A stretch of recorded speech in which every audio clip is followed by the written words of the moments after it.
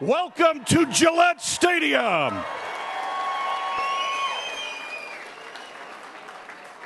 My name is John Rook. I'm the voice of the Patriots here at Gillette Stadium, and, and, I feel like something's missing. I feel like we need a little charge today. So, how about just to sort of set the tempo for the day and for the coming weeks and days and everything else on the schedule this year? How about one that they can hear us in down in Miami and they can certainly hear us over in New York. That's good for another Patriot. That was actually impressive. That's a good job out of you. Good job out of you. I want to welcome each and every one of you to the Hall of Patriot Place presented by Raytheon for this year's Hall of Fame induction ceremonies. I think it's absolutely fantastic that the Kraft family and the Patriots honor their alumni with a formal ceremony like this. And I love that they make it free to people like me and to you to come out here and celebrate with these great players. You know, the connection between the team and the fans has always, always been of paramount importance to the Kraft family. Their Hall of Fame is just another example of that. Patriots were the first team in the National Football League to give fans the authority to make the final selections for the Hall of Fame induction here. Tonight, we're going to celebrate the careers of Gil Santos, the voice of the New England Patriots.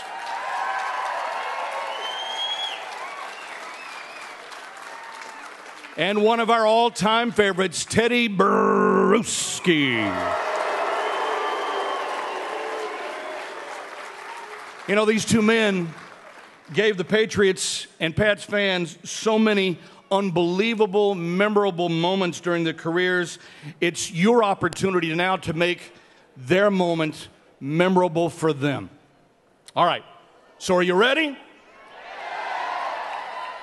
No, no, that's that's not going to do. Remember, they need to hear you in Miami. They certainly need to hear you in New York.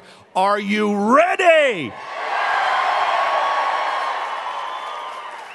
All right, what better way than to kick off things by introducing a few members of our New England Patriots?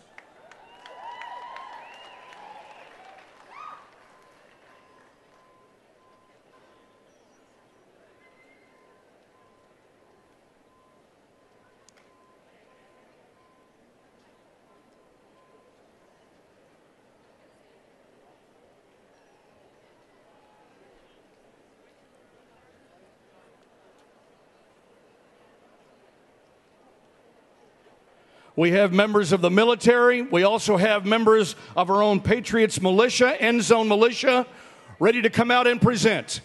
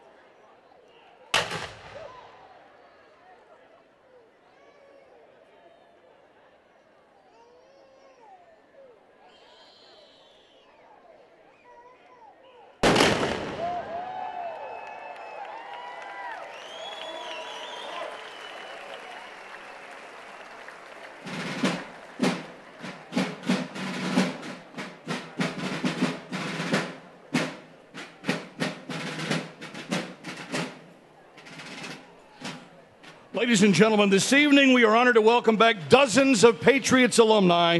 Collectively, they represent more than 250 years of Patriot service, covering a span of 52 seasons from 1960 through 2011. Imagine the stories they can tell. The storytelling is always the highlight of these alumni events. We hope to share a few of those stories with you tonight. Please provide now a warm welcome as I introduce the alumni in attendance here this evening. Starting with our alumni whose careers began in the 1960s. Please welcome defensive end Jim Boudreaux.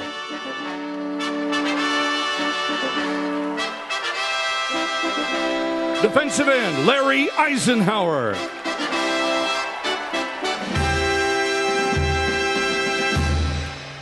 Defensive back Billy Johnson.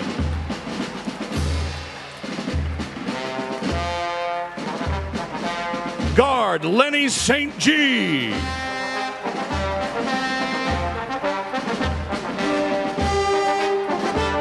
Defensive tackle Ed Toner.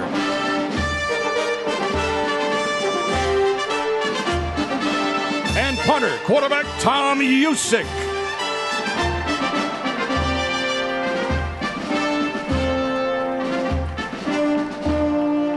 From the 1970s, please welcome center Peter Brock.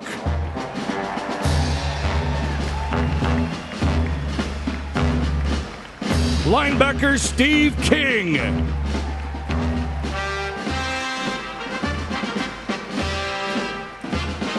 Linebacker Bill Matthews.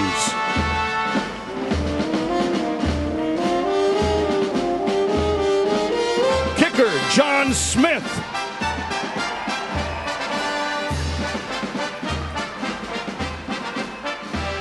Wide receiver Randy Vataha.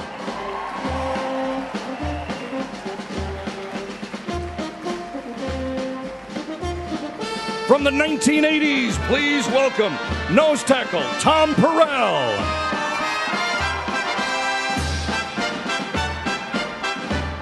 Defensive end Garin Veris.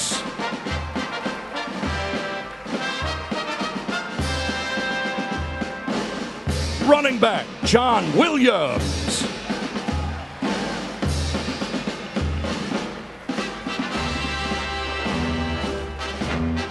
Now, please welcome Tedy's teammates from the 1990s and the 2000s, beginning with linebacker Eric Alexander.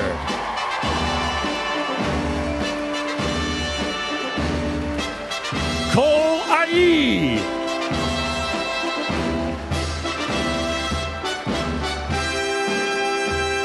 Linebacker Vernon Crawford.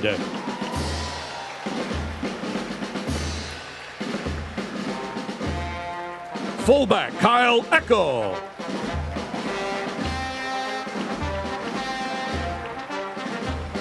Guard Russ Hochstein.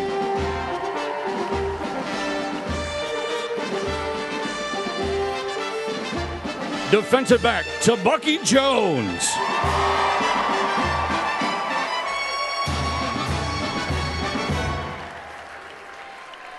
Offensive tackle Max Lane.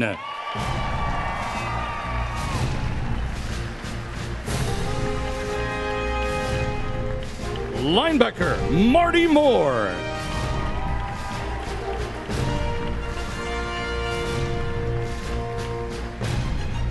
Defensive end Chris Sullivan.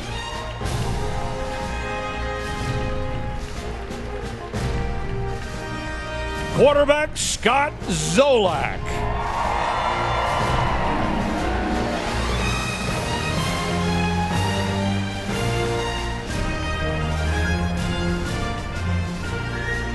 And now, please welcome five of Tedy's teammates who helped him deliver three Super Bowl championships to New England. Guard Joe Andruzzi.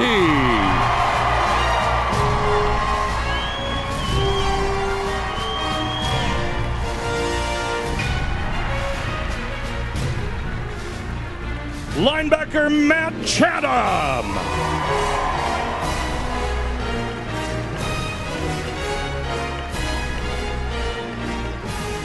cornerback Ty Law.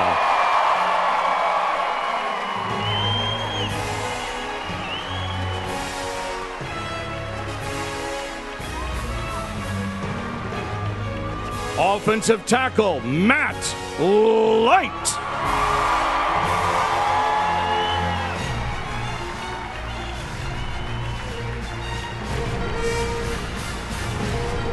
and long snapper Lonnie Paxton.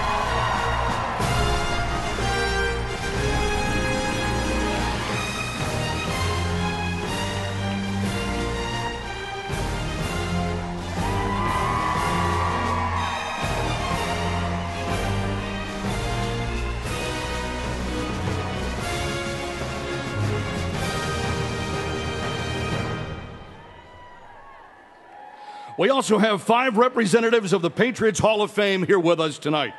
Seated in the audience and representing her father, who was a member of the Boston Patriots and earned league MVP honors in 1966. Please give a round of applause and a warm welcome for Rachel Nance, daughter of 2009 Patriots Hall of Famer Jim Nance.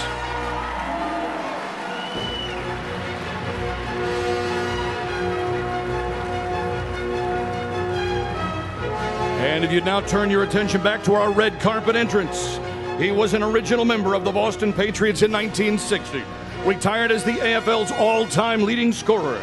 He was a five time AFL All Star, the 1964 AFL MVP, the second Patriot to ever be inducted into the Patriot Hall of Fame in 1992, and for 28 years he teamed up with one of today's Hall of Fame honorees. Ladies and gentlemen, a round of applause for Gino Cap. Spalletti.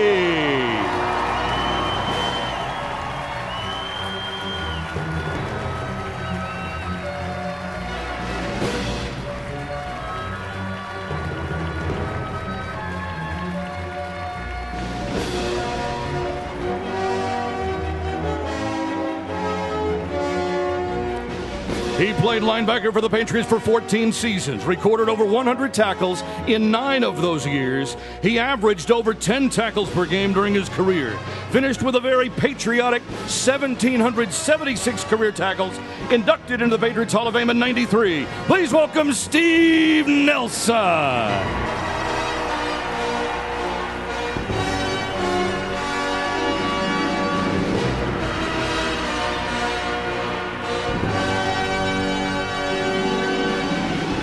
The franchise record holder with 100 career sacks. His 18 and a half sacks in 1984 remains a Patriot record. His 35 sacks by a linebacker over two seasons remains an NFL record today. He was one of the greatest linebackers to ever play the game. This weekend, he'll represent the Patriots once again in Canton, Ohio for their 50th anniversary celebration of the Pro Football Hall of Fame. Welcome, Patriots and Pro Football Hall of Famer, Andre Tippett.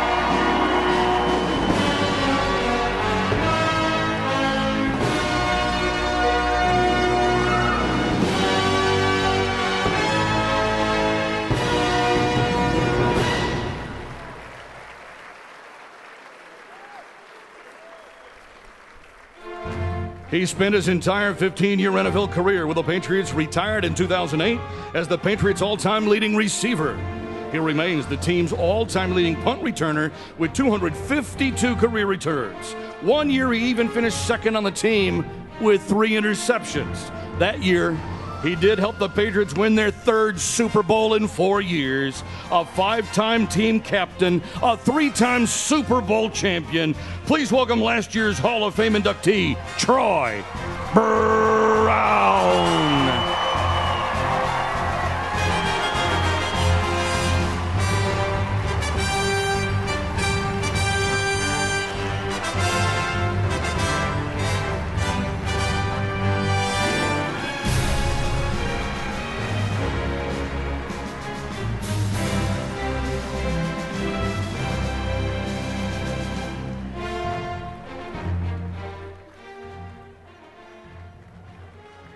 Ladies and gentlemen, as Troy makes his way to his seat, it's my great pleasure now to introduce to you this evening's honorees.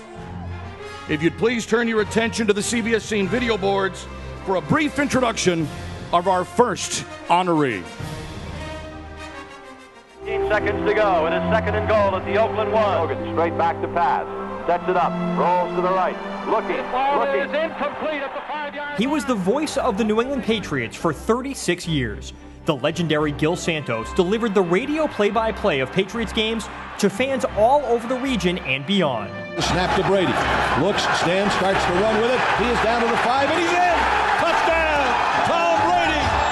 And the Patriots are back in it. His attention to detail, his sense of the moment, and yes, his incomparable voice made those fans feel as if they were inside the stadium themselves. Paired with Patriots Hall of Famer Gino Cappelletti for most of his tenure in the broadcast booth, Santos was at the mic for the greatest moments in team history. 48 yard field goal attempt. Set to go. Snap ball down. Kick up. Kick is on the way, and it is good. It's good. And the game is over. And the Patriots are Super Bowl champions. You know, there's that old saying if you like what you do in life, you never work a day. And uh, this is really what he was all about because he really thoroughly enjoyed it, always uh, well prepared and ready to go. Gil Santos called 745 Patriots games, including all three Super Bowl victories. And at the conclusion of the 2012 season, as part of an on field ceremony, Patriots owner Robert Kraft surprised Santos with the news that he would become just the second non player to earn the honor as a contributor with a spot in the Patriots Hall of Fame. He was the voice of the Patriots and called uh, so many great plays and, um, and was part of those championships that we had. So, um, you know, I, I, don't think the fans uh, will ever forget the way that he described the plays. Ladies and gentlemen, it's my pleasure to introduce the 20th person and just the second non player to earn induction into the New England Patriots Hall of Fame. Please give a round of applause for my friend and yours, the voice of the New England Patriots, Mr. Gil Santos. Good afternoon, everyone. On a beautiful late summer afternoon here in Foxborough, the snap to Brady. Looks, stands, starts to run with it. He is down to the five, and he's in.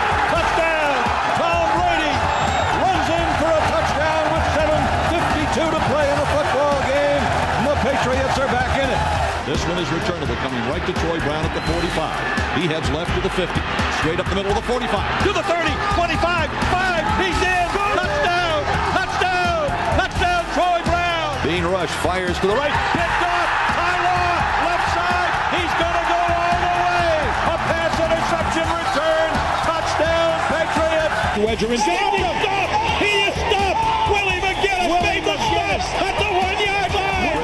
Stands in the pocket, fires it to the right, down the right sideline, and caught at the 20, 15, 10, 5. Touchdown, Patriots. 65-yard bomb. Brady to Moss. One play, bang, bang. They both set NFL records. Back to throw. Looks, fires, caught. Touchdown. Rob Gronkowski. Ken Walter will hold. Lonnie Paxton will snap. Set to go. Snap ball down. Kick up. Kick is on the way, and it is good.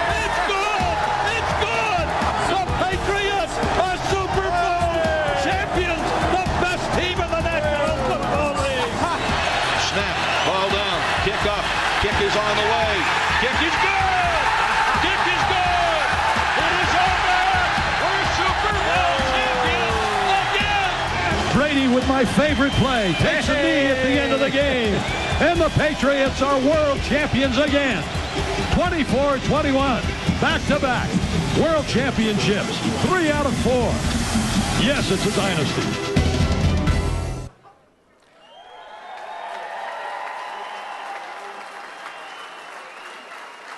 Once again, if you would please turn your attention now to the CBS Scene video board for a brief introduction of our final honoree of the night.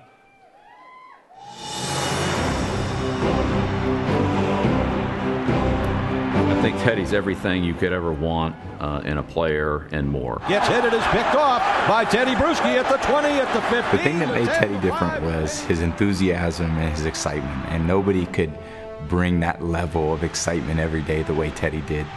As a coach, you try to sometimes compare players to this player's sort of like that player. This player reminds me of that player. I don't think I've ever compared a player to Tedy Bruschi because he was so unique. Uh, what he was, uh, there just aren't many like him. Fires, intercepted, touchdown, Tedy Bruschi! And the fans are throwing snow into the air. Selected in the third round of the 1996 draft, Bruschi scrapped his way from special teams demon to starting linebacker to Pro Bowler. It's just all out effort and gives you everything he's got. Bruschi ripped it out of his hands.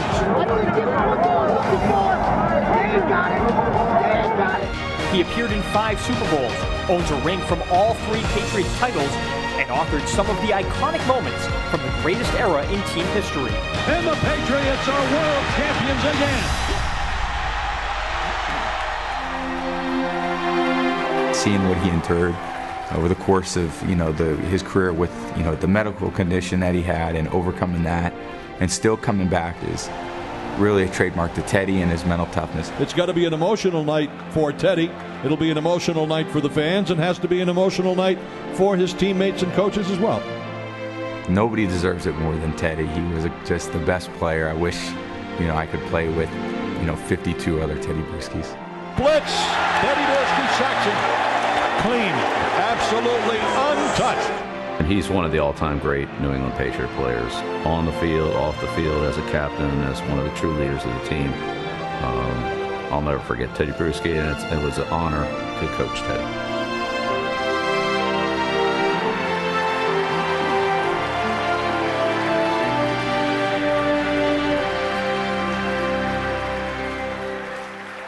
Ladies and gentlemen, please join me in welcoming the 19th player and 21st person to be inducted into the Patriots Hall of Fame, Tedy Bruschi.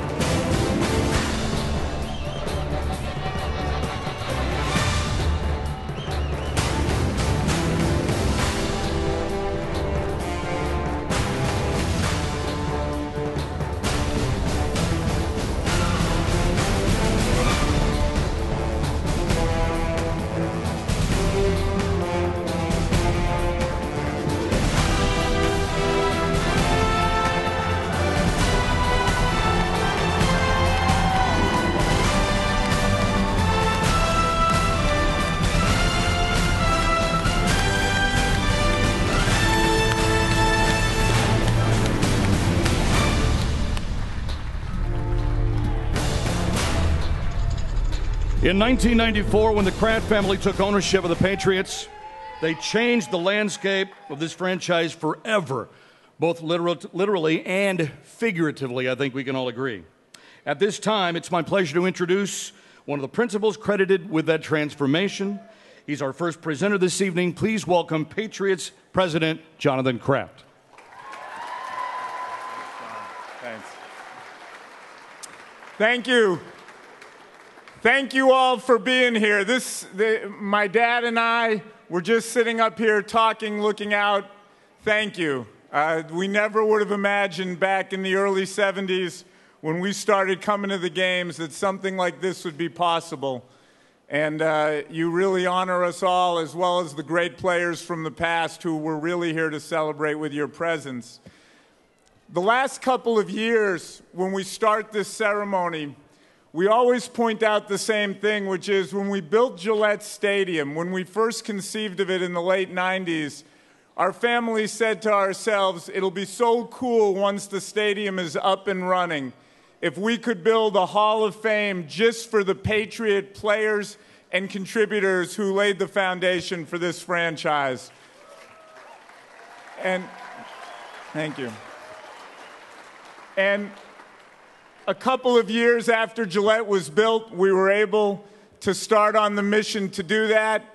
And our idea was not only to build a building that could mem- memorialize the amazing careers of the men that are sitting in front of us and up here on the stage, but the whole history of the team and do it in a way that was interactive and do it in a way in which many younger generations could come and experience the building. And to create a program that would do that, we teamed up with an amazing New England company, Raytheon who is busy keeping all of the American patriots safe and in great shape overseas all over this world.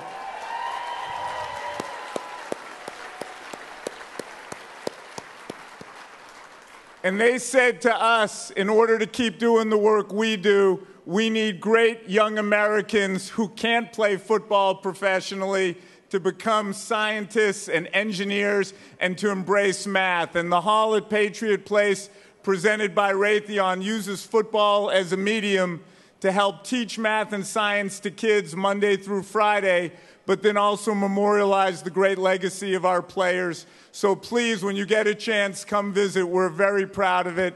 And if you're out here today, it means you're passionate about the team, and we think you'll enjoy it. So thank you again for being here today. When I was a little boy, my mother used to tell my brothers and I we had to get up at 7 o'clock for school. But I used to set my alarm starting when I was 8 when I got a clock radio for 6:44 a.m. And the reason I set my clock radio for 6:44 a.m.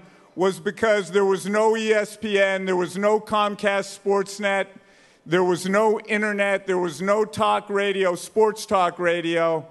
And I used to get my sports news from Gil Santos at quarter of the hour and at 7:15 on BZAM. The Carl DeSuze show for those of you older guys here. But Gil wasn't just the voice of sports for me. He was the voice of my favorite team, the New England Patriots. And when my dad started bringing myself, my brother Danny, to the games, we all used to have transistor radios because there was no delay issue with the FCC and bad words getting on, and you could actually listen and be in time with the game. And we used to sit in the stands and listen to Gil's voice, that amazing voice of power and authority, but also warmth. He welcomed you in. You felt like you were listening to a member of your family, and he knew the game of football. And with his amazing partner, Gino, they told the story of the Patriots for many, many, many years. And my favorite Gil story as it relates to the team is a year after we bought the club. Uh, well, the end of 94, the first year we owned the team, our radio deal was coming up for the 95 season. And we felt that the right thing to do for the fan base of New England, it hadn't been done in the NFL yet, was to put the team on FM radio. FM was the future. It provided a much better sound quality. You could feel the game through the radio. And when we sat down with the people at WBCN to start the negotiations, we said, We have one thing that will cause us to walk away from the table, and it's a pretty aggressive ask. And that is that a gentleman who's on a competing radio station, because in those days, WBZ was owned by a separate company than the one that owned WBCN we said Gil Santos is going to keep his morning radio job there, but he has to be the voice of the Patriots, and he has to come with his partner, Gino.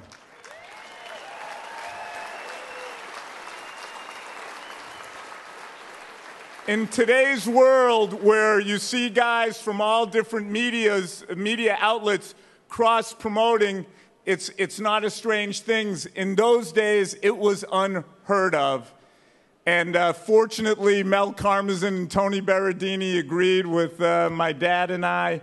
And uh, that, that allowed Gil Sant allowed the Patriots to go to FM radio, which we think is part of what changed the face of this franchise, and allowed the greatest play-by-play caller in football history uh, to take his great pipes to the FM dial. He has called 745 games for the Patriots out of 746 possible games. He's called 33 of our 41 playoff games.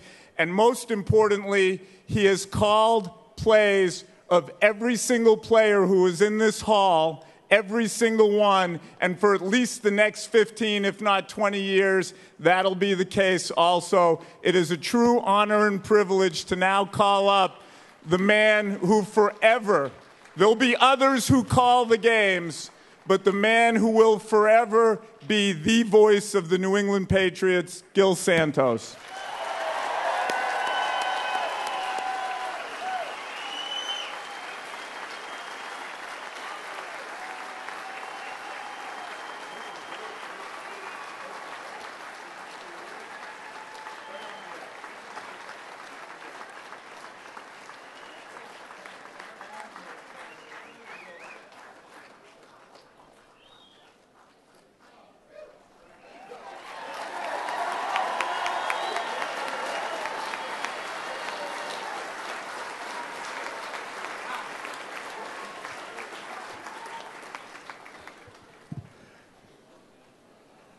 Uh, just give me a moment here, please. I uh, have a few thousand chosen words to say. I'm not going to keep you here all day, believe me. But uh, first of all, thank you all for being here. Nice crowd.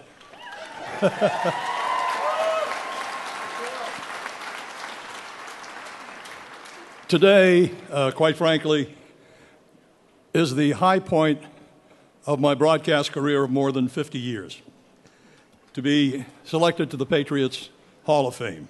I want to thank Robert Kraft, Jonathan, the Kraft family.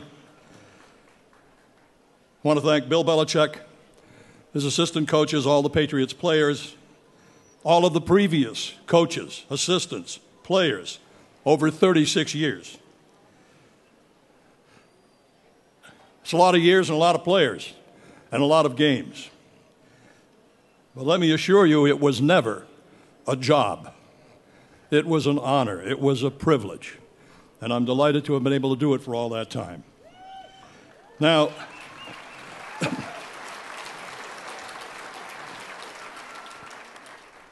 there are several other people I have to thank. My wife of 52 years, Roberta, sitting right down there.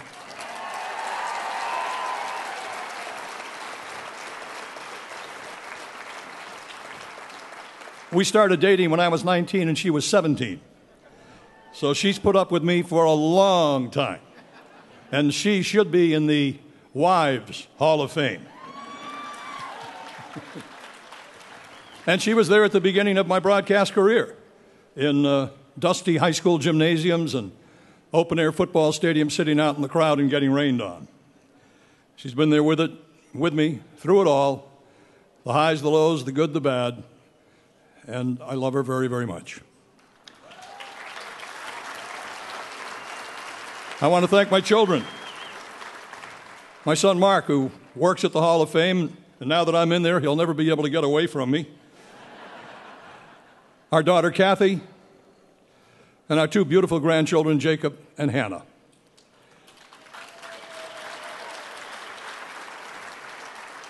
I want to thank them, along with my relatives who are here, and my close friends for all of their love and support over all the years. I also want to thank everybody that worked with me on the broadcasts. Gino Cappelletti, of course, Scott Zolak, Mark Capello, our great producer, Roger Holman, our terrific statistician, Dennis Knutson, our engineer. Just a bunch of great guys because I can assure you of this. No one gets into any Hall of Fame anywhere by himself you got to be part of something. And we were part of a broadcast team, and we had a lot of fun describing a lot of games and came up with three Super Bowl championships. Now, I've just got a few more things I want to mention. First of all, I'm a first generation American. My parents were born in Portugal. They came to America, met here, and married here. And uh, when I was a kid, I didn't learn to speak English until just before I went to the first grade. Because our grandfather, my grandfather lived with us and he didn't speak English, so in the house we spoke Portuguese. So they taught me to speak English just before I went to the first grade, and I find it ironic that 60 uh, some odd years later, I'm going into the Patriots Hall of Fame for my ability to speak English.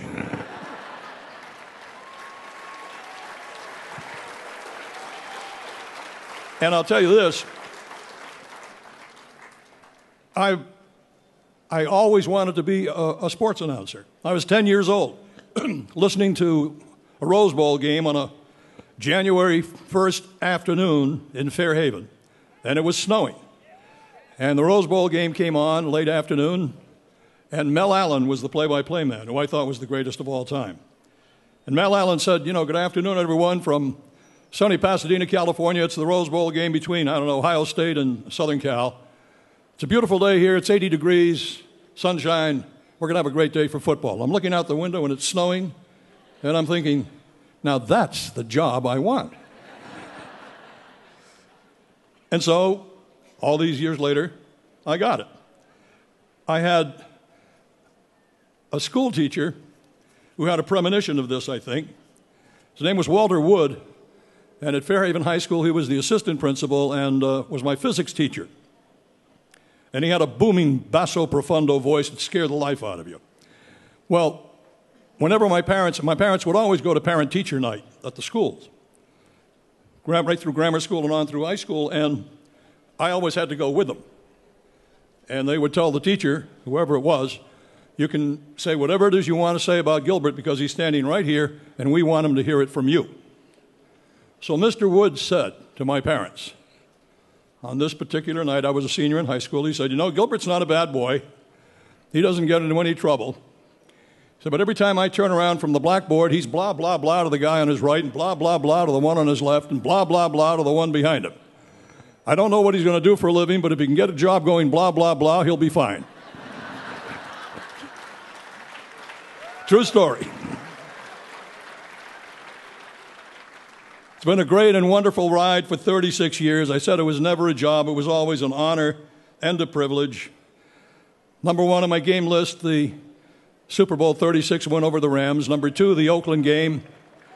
Numbers three and four, the next two Super Bowl wins, and all the other games are tied for fifth place. I could not have done it without the support of my loving family, my wife, my children, my grandchildren, my friends, my relatives, people all were very kind to me over the years and encouraged me.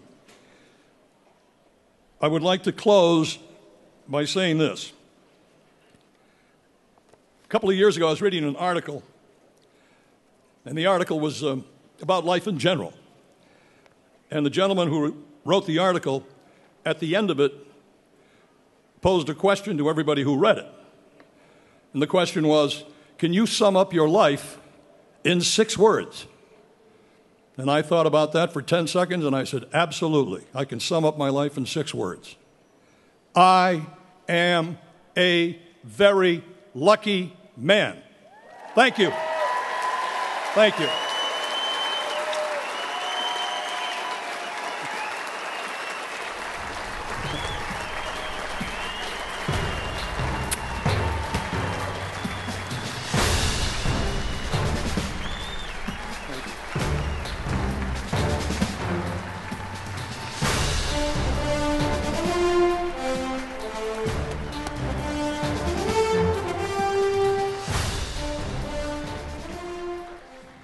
Thank you, Gil. At this time, I'd like to ask fellow Patriots Hall of Famers Gino Cappelletti, Steve Nelson, and Andre Tippett to come to the stage for a little bit of a panel discussion. And please welcome to lead that discussion Patriots radio analyst on 98.5 The Sports Hub, Scott Zolak. Zo, it's your show.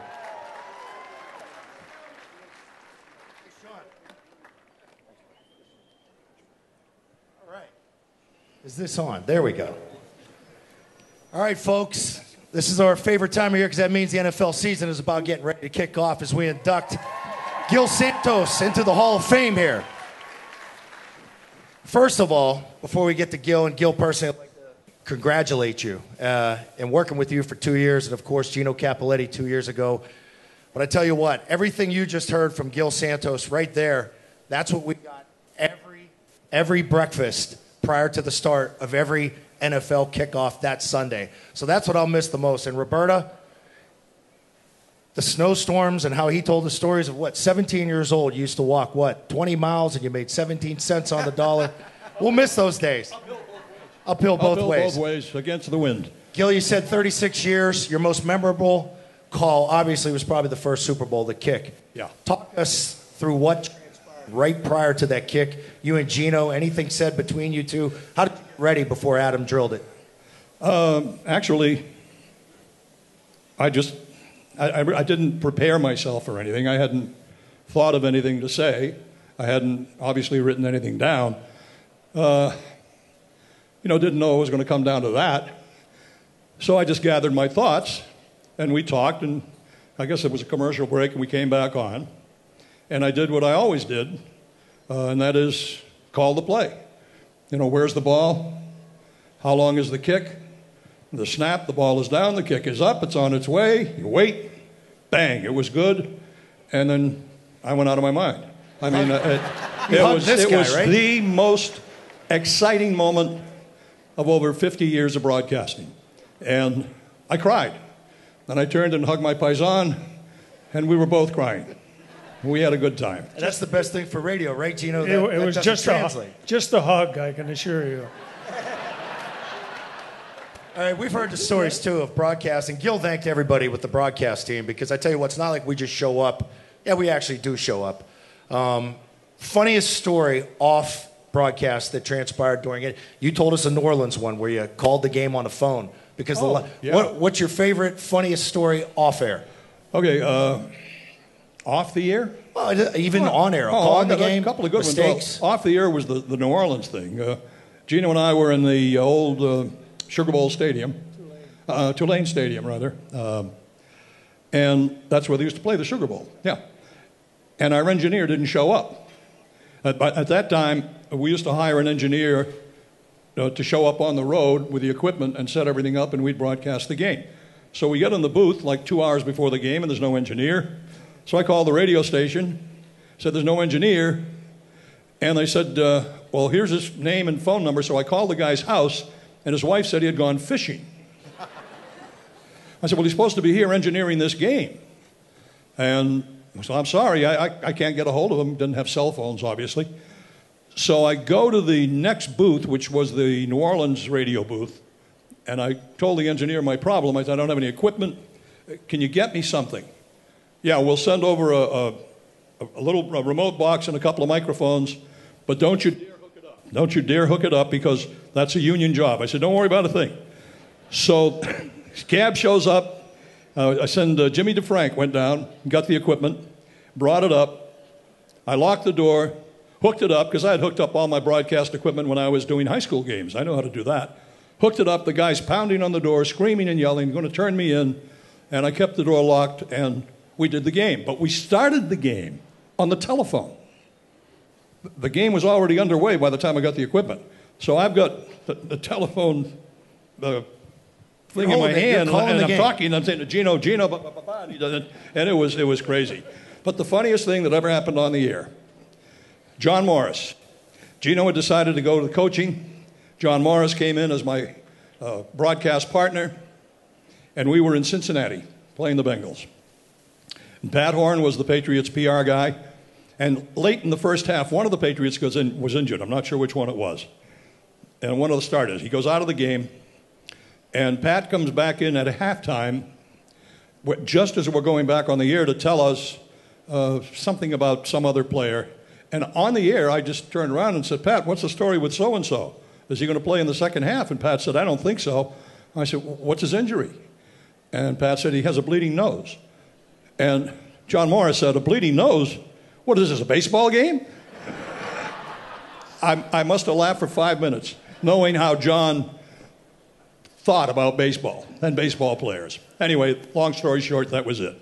All right, Gino, 28 years. How special is it to be to have this guy inducted into the Hall of Fame? He's got a red jacket now. Take us back to that late December game when the Kraft family called you guys down. This guy thinks he's just getting a football, and they tell him he's going to be inducted.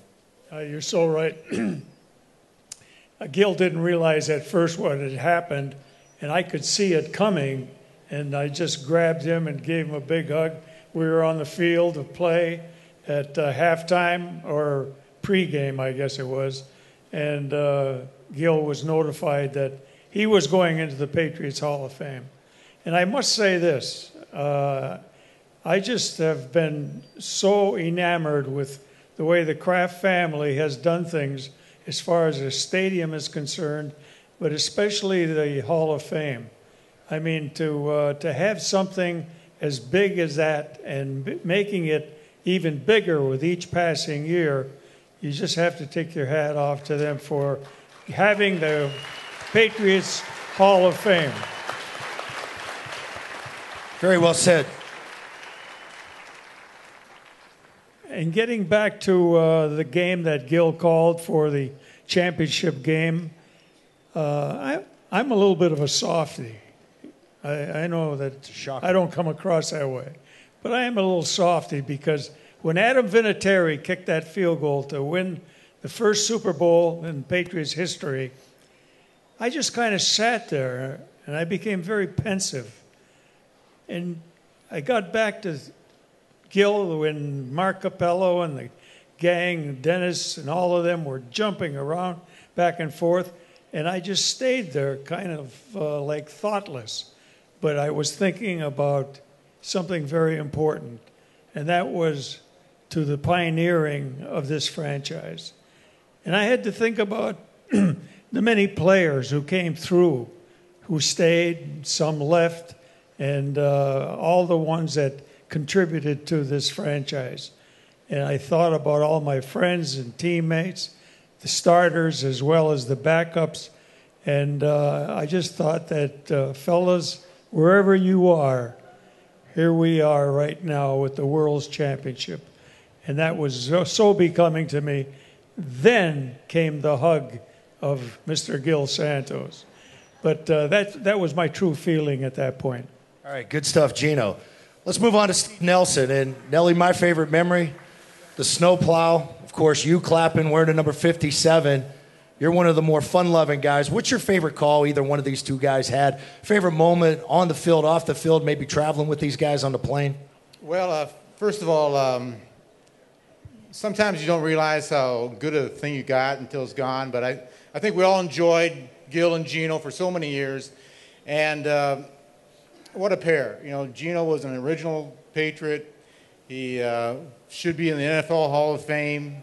He's one of the greatest players that ever put on a Patriot uniform.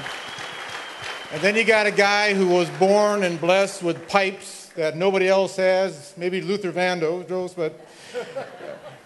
And, God given, uh, I didn't have anything to do with it, believe me. And to have them such, uh, you know, good friends and, and had a very colorful, obviously, franchise with the Patriots in the 60s and 70s and 80s. And then to have such a dynasty in the early 2000s and, um, you know, I don't think any city or any franchise city, Scott, can enjoy a pair like these two. And now you are the next generation, and big shoes to hope fill. You got big shoes, but uh, hope 30 years from now we'll be here with you too. But uh, I, I bet the, the snowplow game was interesting because of the 0-0 game, and uh, you know it was a blizzard.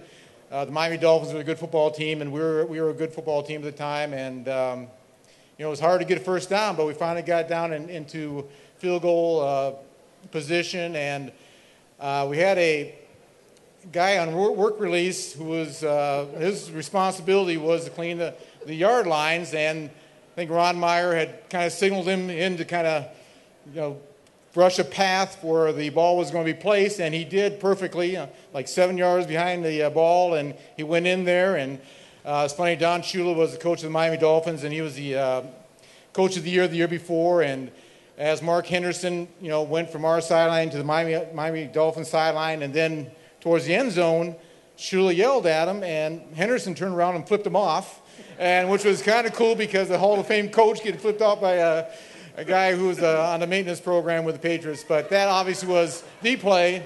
Uh, the game ended up three to nothing, and uh, it was one of those games you always remember because it was you know, not only the score, but the conditions you played in, and uh, obviously that one play. It right, must have been interesting to call that one, Gil. Plus, you could see the uh, the actual snowplows hanging in the hall. So if you haven't been to the hall, what is that? Level two, Mr. Kraft? Level two, level three up top. Get your picture taken next to it. All right, let's move on to Hall of Famer NFL Hall of Famer Andre Tippett and Tip.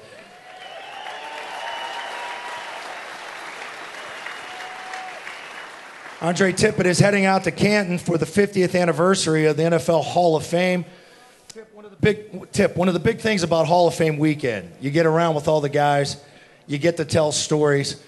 Give the Patriots Nation a little bit of what you'll be talking about when you head out to Canton here in a week.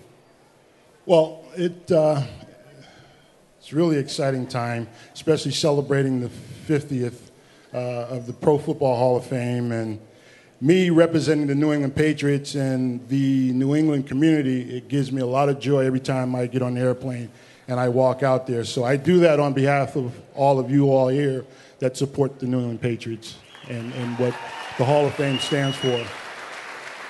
Um, I always like to talk about the Pro Football Hall of Fame being football royalty. And that's what it is because you look at some of the greatest guys that ever played the game, they're all there, and uh, it's the coolest thing. Um, my first year, actually, I'm celebrating my fifth year of being uh, at the Pro Football Hall of Fame. And I remember it like it was yesterday when Deacon Jones got up and they have this Ray Nitschke luncheon where he welcomes the whole class in there. So I think what I can do now is share a little bit with you all that are here today as we celebrate our pro, our Patriots Hall of Fame, and I'll tell it to you guys like Deacon told it to us. Welcome to the Patriots Hall of Fame, Tedy and Gil. And I want you to look around. You don't see any a-holes. You don't get cut from this team. And you're part of this team for the rest of your life. So welcome to the Hall of Fame.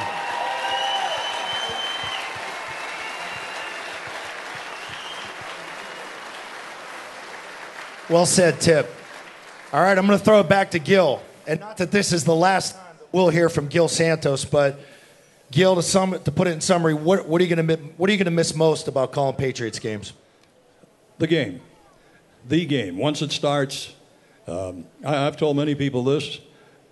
When I was broadcasting a football game, Patriots game, I was never more comfortable at anything in my life than at that time. The game started, I was in a comfort zone. I loved what I did. I'd have done it for free. I never told my bosses that, obviously, but it was just, it was a zone to get into, and it was, it was fun, and I will just miss doing the games very, very much. I will also miss the wonderful restaurants that uh, Gino and I used to go to, and that now you and I went to with all the guys, and just the camaraderie of the, of the broadcast crew. It was uh, a lot of fun. It was a great way to make a living. All right, thank you, Gil Santos. Let's give it up for Gil as we get ready to induct Tedy Bruschi next. Let's turn it back over to Mr. John Rooke.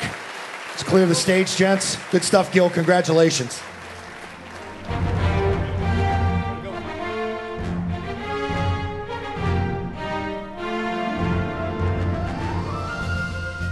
How about one more round of applause for Gil Santos?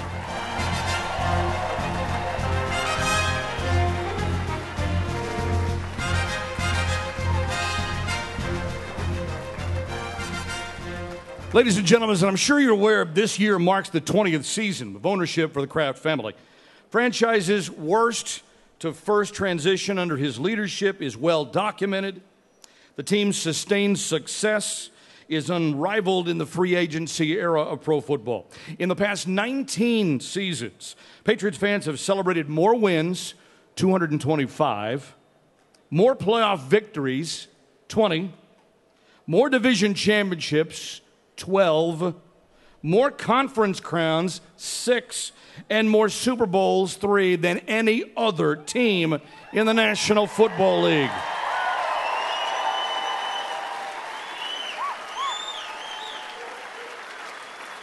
all of which was made possible because of the vision and investment made by this man, it's an honor to introduce our next presenter, Patriots Chairman and CEO, Mr. Robert Kraft.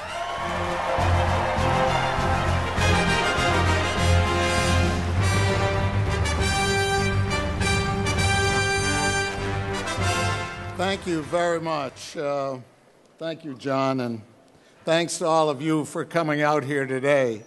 Um, and you know, I started thinking, you know, how you attract a few thousand fans to come to the Patriot Hall of Fame presented by Raytheon?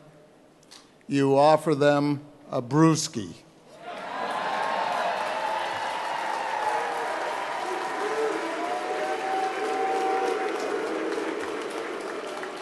I hope that's politically correct. It is. Okay. You know, listening to Gil, I was just thinking this is the fifth, this is the Brewski season of the Patriots. It's the 54th season that the Patriots are in business.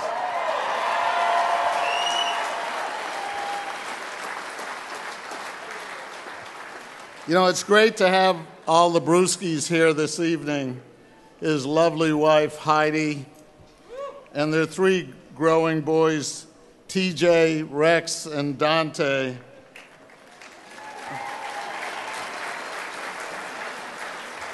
And I think one of the lasting memories of Super Bowl 39 for all of us was seeing Tedy romping on the field with TJ and Rex. And uh, what a great beginning that was, and what a great ending. So, thanks, guys, for giving us that great memory.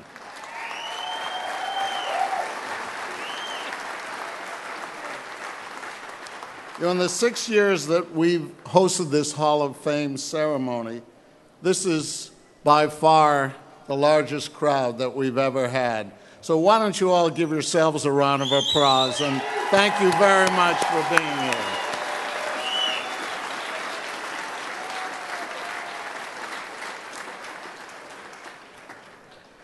And I also want to thank all of our past players who created this great history of the team when we had the privilege of sitting in the old Foxborough Stadium and watching the legacy that you all created for us so that we could have this uh, Hall of Fame by, by Raytheon.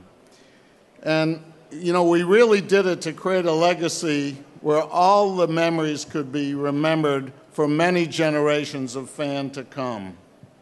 I would like to ask all the Patriot Hall of Famers and alumni to please stand once again so that our fans can express their appreciation to you. Please, all of you.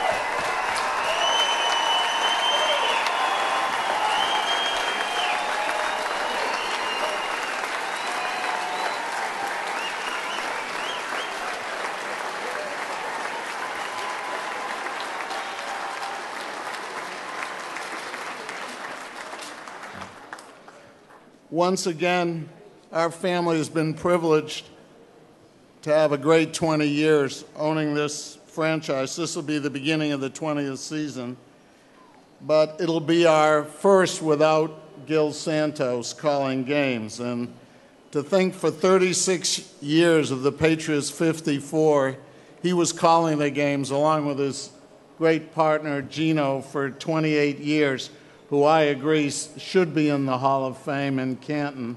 And uh, I don't understand why not. We thank you so much. Um, and we think that's the championship broadcast team forever. But speaking of great teams, our next honoree played a significant role in many of our greatest teams. I, with a name like Brewski, I knew that the day we drafted him, he was going to become an instant fan favorite in New England. You know, I even remember when he came into the old bubble, I, I was standing next to Parcells and he said, Who's that Italian guy down? No, he said, Who's that Mexican guy over there? Well, what I didn't know was through his own hard work dogged determination, and remarkable resiliency, he would become one of the most iconic players in franchise history.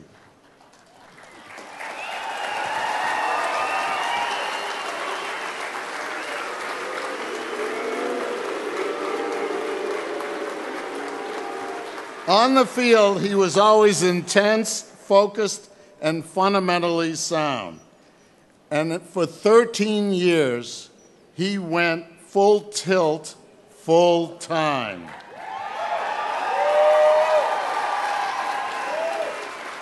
He became a great role model for his teammates by the way he conducted himself. He became an elite NFL linebacker and earned Pro Bowl honors. But that was never his main goal. His main goal was winning football games. In his 13 NFL seasons, out of the 13 seasons he played, the Patriots had a winning record 11 of those seasons. He was a seven times team captain, an eight time division champion, a five time conference champion, and a three time Super Bowl champion.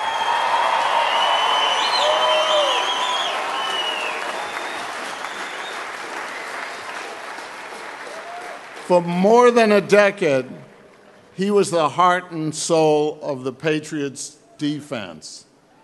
It's no coincidence that during that decade, the, the Patriots enjoyed the most successful era of any team in NFL history.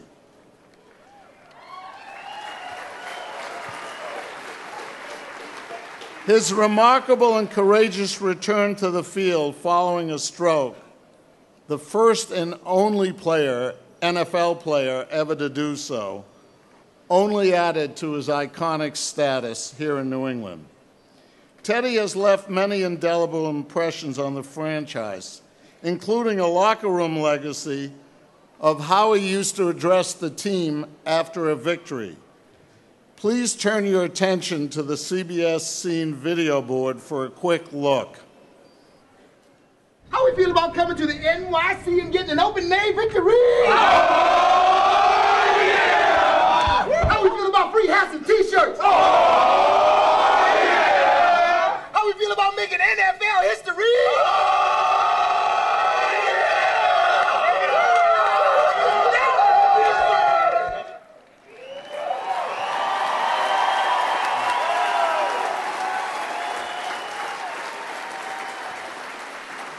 As tonight's presenter, I want to ask you all a simple question.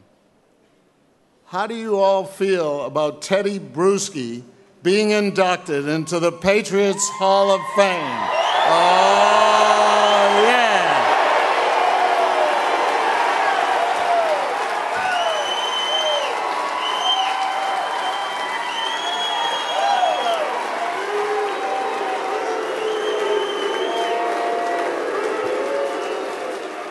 Ladies and gentlemen, it is my honor and pr- privilege to present this Patriots Hall of Fame jacket to one of the greatest players in franchise history, your own Tedy Bruschi.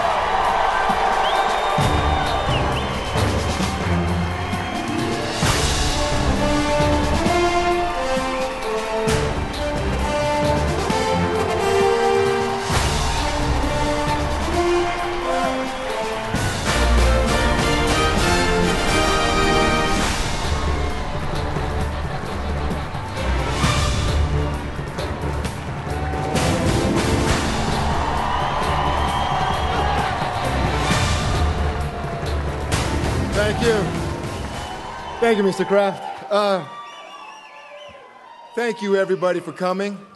Um, let, me, let me set the record straight. Um, probably for Bill Parcells, it's Italian, half Italian, half Filipino. That's what it was. I know I, it's easy to get mixed up, but uh, that's right. It's a nice jacket.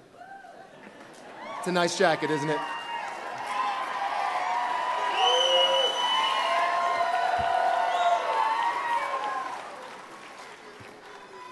The goal, the goal on the teams that I played, it, the red jacket was never the goal, and free hats and T-shirts were. now this jacket, I it probably costs a lot more than those hats and T-shirts, but free hats and T-shirts that said you did something. That said you won an AFC East Divisional Championship or a conference championship, and hopefully you got that third set, that free hat and t shirt that said World Champion. And we got to do that three times. So I'm honored to be here and honored to accept this jacket, and my wife tells me I look good in red anyway. Look good, babe? Looks all right? All right. I'd like to thank Gil Santos for calling every play of my career. It, it, really, I enjoyed listening to him when I could. It was always on the highlights, hearing that background voice of him and Gino, and Gil, that voice that I always that I always could recognize. When I first met Gil, I didn't know him by face. I knew him by voice, and I could recognize him right away. And, and, and Gil, it's it's an absolute honor to be going in with the man that called every play of my career. Thanks, Gil. I want to thank all the Patriots alumni that are here, all the Patriots of the past that laid the foundation for this organization because this all wasn't here a long time ago. These steps, this stadium, the hall, we had Foxborough Stadium. Now, I love Foxborough Stadium, but it wasn't Gillette Stadium. We had to drive to practice, practice outside the Wrentham State School for Boys. And these guys that came before us had less than that but they still played hard. They still laid a foundation for us. And I'd like to thank all of them for the work that you put in for us to get us to where we are today. Thanks, guys. I want to thank Andre Tippett and Steve Nelson, two linebackers that, that set the standard on how to play linebacker for this organization. Coming here in Foxborough Stadium, you walk down a, you used to walk down a, a bunch of steps, and there were jerseys up, and they were number 56 and 57. And it was, it was Tippett and Nelson. And you knew and you heard stories of how linebacker was played by them. And it made you it put yourself to a higher standard. Nelly, Tip, thanks a lot, fellas. Thanks. You showed us how to do it. Thanks. Other Patriots of the past, Mosi Tatupu, Steve Grogan, Sam Cunningham. I miss Mosi. Those guys set the foundation for us.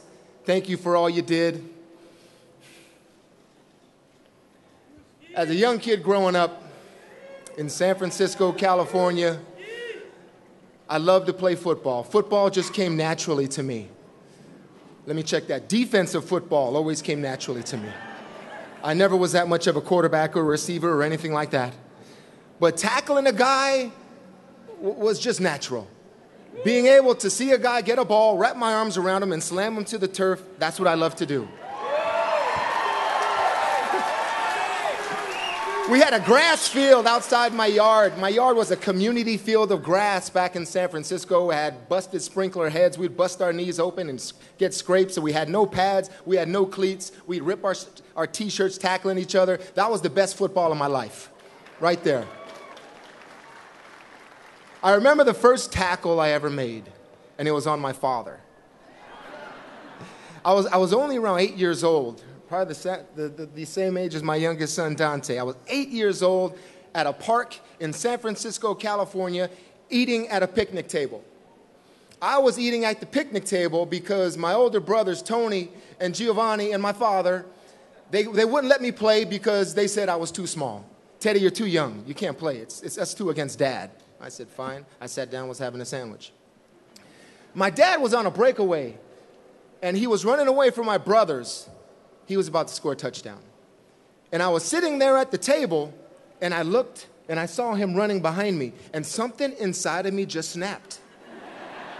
I got up from the picnic table, I ran to my father, caught up with him, wrapped him up by both ankles, and he dropped like a tree.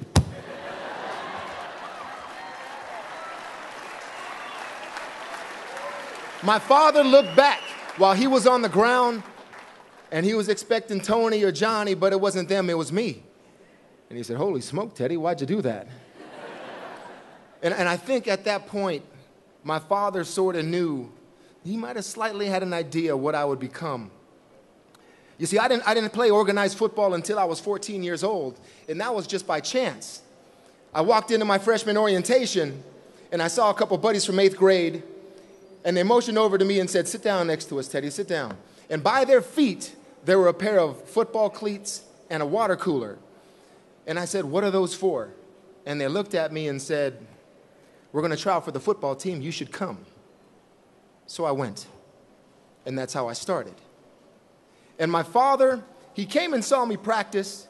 He said, Ted, you got it. You got it. You're going to be good, Ted. You're going to be good. But you got to play linebacker. You got to be an inside linebacker, Ted. And I said, Dad, I, I don't want to play linebacker right now. My coach has me at, at uh, offensive guard and defensive tackle. It's what I was playing. No, Ted, you got to play linebacker. No, Dad, I don't want to play linebacker. So I went on through high school and played offensive guard and played defensive tackle, and then I got a scholarship to the University of Arizona where they wanted me to play defensive end. Tedy, you got to play linebacker. No, Dad, I'm good. I'm good. Dick told Tomey kept me at linebacker, my college football coach, one of the greatest coaches I ever had. Played me at defensive end, Dad. He wants me to play defensive end. Why do you want me to play linebacker? You're going to be a linebacker, son. I sacked the quarterback 52 times in college. No other player in NCAA history did more. I tied Derrick Thomas's all time sack record.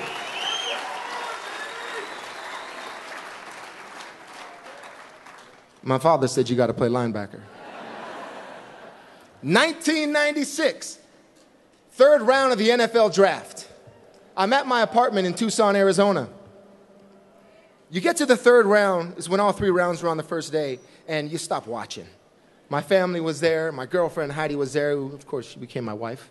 And we were watching the TV, and we got bored. Man, it wasn't fun to watch anymore. So I walked by the TV screen, and at the bottom of the screen, it flashed Tedy Bruschi, 86th pick, defensive end out of the University of Arizona, to the New England Patriots. And, and it's quick. If you watch ESPN, it just flashes, then it goes. It was the 86th pick. And I looked at everyone and I said, I think I just got drafted by the Patriots. And they're like, what? And so we watched the ticker. One, two, three, four, all the way to 86. Four, five, but it never got to 86 because the phone rang. The phone rang and it was Bill Parcells on the other line. Tedy. Yes, coach. We're going to play on special teams and middle linebacker. and I thought to myself, really?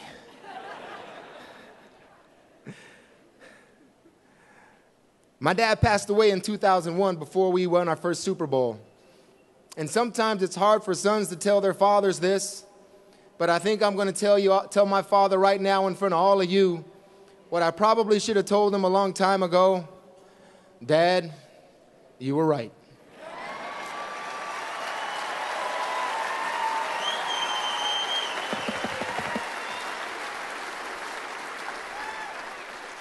But so was I.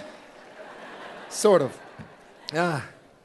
My parents divorced at an early age, and my mother, she raised us all by herself, and eventually she got remarried. And my stepfather's name was Ron Sandys. And this is a man that helped me tremendously. Ron ended up recognizing what I could do in high school. And he, dis- and he researched how a kid could get from high school football to get a college scholarship. And there was something that you need, and all my boys know you needed this highlight film. You had to put a highlight film together to put out to your college teams and send them out and look at this kid and look at that kid.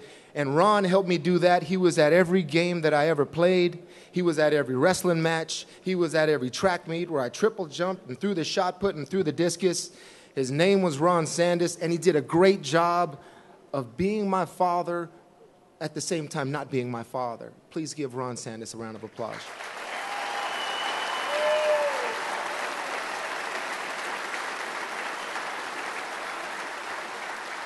My mother's name was Juanita. And my mom, Juanita, didn't want me to play football. I remember coming up to her the first time after that, that day on the, on the foot, first day on the football field saying, Mom, I like this, I want to play, but Mom, I need a pair of cleats. And she said, Son, I'm not going to buy you a pair of cleats for this sport. You know how much cleats cost? I said, Mom, I really love this. She said, No, you got to wait. Make it three days. If you last, then I'll buy you a pair of cleats. I went out there in a Via tennis shoes. A Via tennis shoes, and a white t shirt over my shoulder pads. Still knocking people out. Knocking them down, having fun.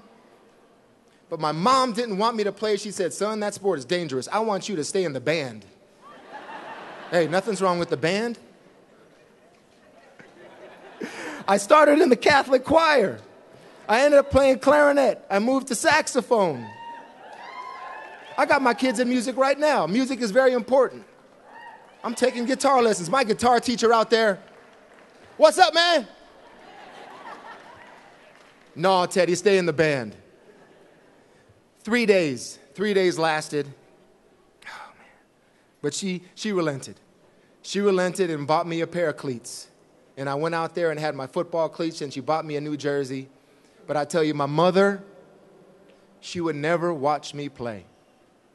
She always waited till I came home and had that tape that Ron made so she could watch it. Because when I came home and I walked through the door, she knew I didn't get hurt. So she said, All right, Tedy, I'll watch the film. And she'd watch the film. You gotta be mentally tough to play this game of football. I learned all of my mental toughness from my mother. My mother could look Bill Belichick in the eyes and he would crumble.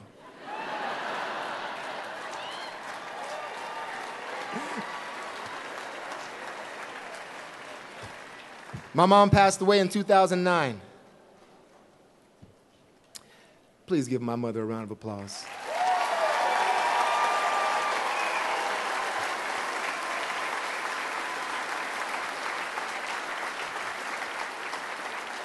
Well, she bought me those cleats, white high top pony cleats, the screw ins. They were the good ones, too.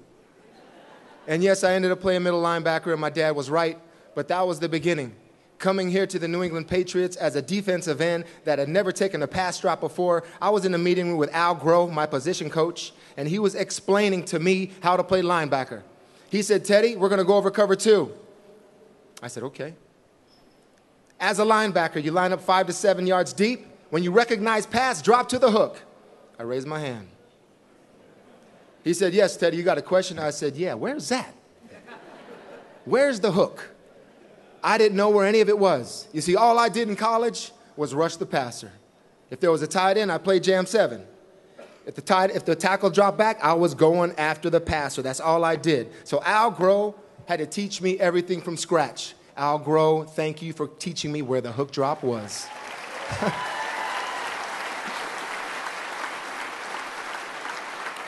I like to thank Bill Parcells, my rookie year football coach. He I only had Bill Parcells for a year. I wish I had him more. But I only had him for a year, but he helped me lay the foundation of how to be a professional football player. Not so much football knowledge, but football survival and how you survived in this league. Tedy, players, he tell all of us, football will give you a lot of things. Zoe, you remember this. Football will give you a lot of things. You can buy a nice car, you can buy a nice house, it'll get you some fame. But there are certain things you got to earn in the game of football. And you got to earn your respect and you got to earn championships. And that's what Bill Parcells taught me. And Bill, you see, Bill did a great job of doing more than that, of being so stern, because he can make you feel this big sometimes. But then he'd let you know he loved you. I remember one time I had a good, I had a good practice. I intercepted Drew Bledsoe, took it to the house. Bad throw. and Parcells, after practice, said, Brewski, get in the car. You see, we had to drive to practice, and Coach Parcells always drove this Cadillac Eldorado. And he put me in that car and he talked to me about my family, he talked to me about my career, and he asked me if I had an accountant. Certain little things like that. That's what I remember from certain coaches, and he did that for me. Bill Parcells is going in the Pro Football Hall of Fame this year, and he deserves it. Give him a round of applause. Now, the next few years of my, my career was under head coach Pete Carroll. Now, we didn't, we didn't win any championships under Pete. We, went, we won some games. But we didn't win any championships. But I've got to thank Pete Carroll and his staff, like Steve Sidwell and Bo Pelini, for teaching me how to play. I was still so raw at that point. that I needed those three, under, three years under Pete Carroll, Steve Sidwell, Bo Pelini to become a better player and a better linebacker. Give Pete Carroll a round of applause. Thank you, Pete. All right, then a guy named Bill Belichick came in here. There we go. There we go. Coach Belichick had this easy way of making the complex very simple.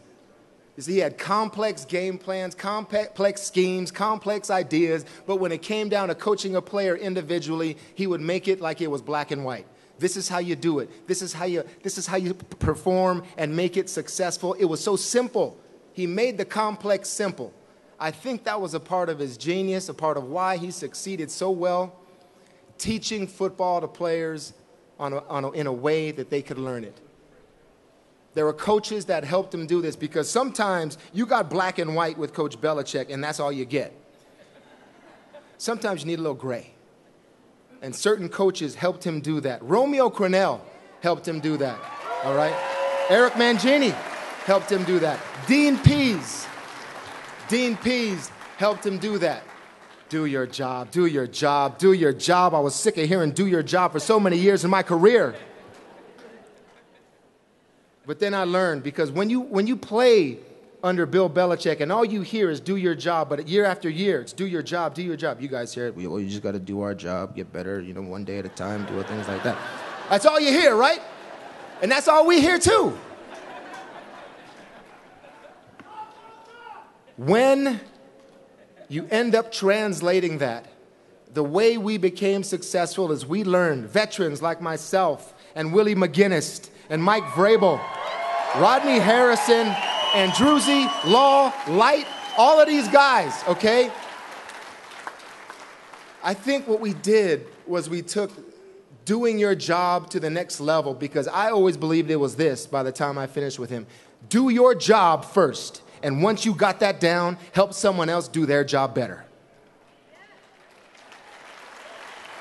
And when you got five guys understanding that, then you got 10 guys understanding that, 15, 20, then you got a team working together like that. Belichick may say, do your job. Veterans, we got to translate. And we did.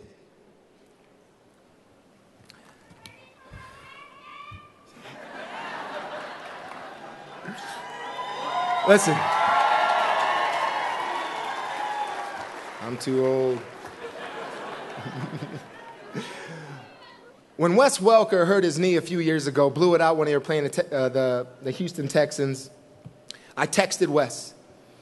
And I, because truly I believe when you play professional football, no career is complete without a comeback. Wes had to do that. I wanted to let him know because I learned in 2005 after my comeback from a stroke. I remember the game.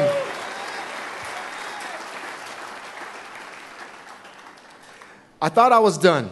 I thought I was finished. I remember calling my doctor, my neurologist at Massachusetts General Hospital, Dr. David Greer. I said, Doc, I want the number of the guy that has done this before because I want to know if I hit somebody, uh, is my brain going to explode? If I hit somebody, is the device in my heart going to move? I want to know, give me the number of that guy. And there was silence on the other line of the phone. And I said, Doc, what's wrong? He said, Tedy, you'd be the first. And I said, I'll call you back. I mean, I didn't know if I wanted to be that guy. But I remember the comeback game right here in this stadium in October and all the support that all of you gave me.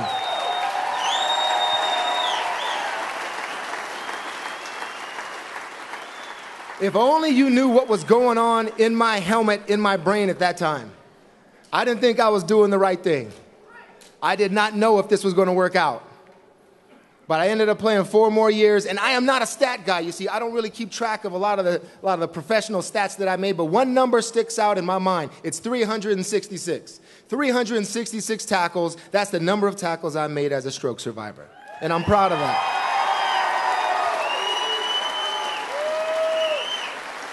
I'd like to thank Spaulding Rehabilitation Hospital and Ann McCarthy Jacobson for what they did for me and helping me get back to the field. I'd like to thank the New England Patriots training staff, Jim Whalen, Joe Van Allen, Dave Granito. I needed so many people. I needed so many people to help me do that, and I needed all of you also. Thank you for your support in that.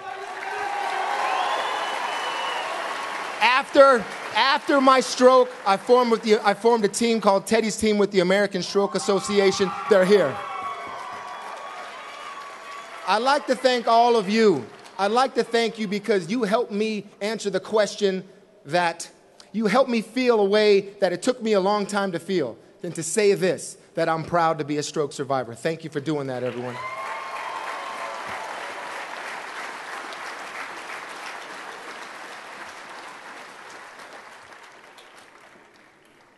I'd like to thank Mr. Robert Kraft for forming a relationship with me that went beyond employer and employee and beyond owner and player. Mr. Kraft, how do I put this? So many conversations we had that were non football related that I remember. I love talking football with Mr. Kraft. He'd ask me questions, I'd give him honest answers, but that wasn't what, what, what it was about or what I remember. I remember talking about my wife. I remember him telling stories about Myra, him and Myra, and how they related to me, and how when you got someone strong in your corner, like Mrs. Kraft or like Heidi, life's gonna be all right. But you, he gave me all of that and all of that support, but you could joke around with Mr. Kraft too. I mean, he was like, he was really one of the guys at times. I remember a story it was during Thanksgiving, and we were getting ready for a game. It was Wednesday before Thanksgiving, and the big debate that I started on the sideline between the defense and the offense was dark meat or white meat. what did you like to eat on the turkey? We got time and practice. We just talk about things, you know. It must have been a special teams period or something like that. So I'm there with Roosevelt Colvin, you know, other linebackers debating. Some guys like dark meat, some guys like white meat, and they're talking about gravy and cutting the breast and all of this stuff, and we're really getting into it. And Mr. Kraft walks, the, walks around the middle of the field through us all. We're on the sideline. I don't know why he was in the middle of the field, but he's the owner. He can do whatever he wants. So he's walking down the middle of the field, and I said, Stop, Mr. Kraft. And he looks over. And I said, Dark meat or white meat? and he looks over he gives a wink and he says, dark meat. And the place just explodes. all the dark meat guys are high fiving, all the white meat guys are just, oh, yeah, get out of here. That's the kind of owner he was. And thank you for forming that relationship with me. And I know you try to do that with a lot of your players, and that's what makes you so special. Thank you very much, Mr. Kraft. Okay. Let me talk about all of you, okay? There's two words I can use to describe the fans of the New England Patriots. Listen closely passion and pressure. I've thought about this long and hard too because I always felt your passion. You could feel your love, you could feel your hate, you could feel it all. Your passion was evident in the stadium, through the radio airwaves, through the TV, through the articles. I could always feel your passion. I love that about all of you. But there was an element of pressure that you always applied, and I always respected that. I remember playing 1996 when I was a rookie. We were playing the Denver Broncos. The call was Brown right. It was a fake punt. Zoe's laughing already. The call was the, the, the ball, the, the, the punter was Tom Tupa. He was supposed to throw it to Corwin Brown on a little seven route, okay? Corwin was covered. Everybody knew to cover Corwin on fake punts. So there was me playing wing, and I'm the outlet. Three yards, four yards, just out there. Tupa threw it to me, and I dropped it. And we lost, and we got our butts kicked. I remember the next day in the Boston Globe seeing, a, seeing an article Bruschi blows it, whatever the headline was, but I remember the picture. I remember you guys making me feel like a bum. That's okay, that's all right. I remember the article, the picture of me on the ground, the picture of me dropping the punt. And right there, I didn't know if I was cut out for this business. That's what I'm talking about. And I dig that about you guys. but I saved that article for the next 10 years. And I looked at it occasionally. And I told myself I'd never be that guy again. I'd never be that guy that caused this team to lose. And I never was again.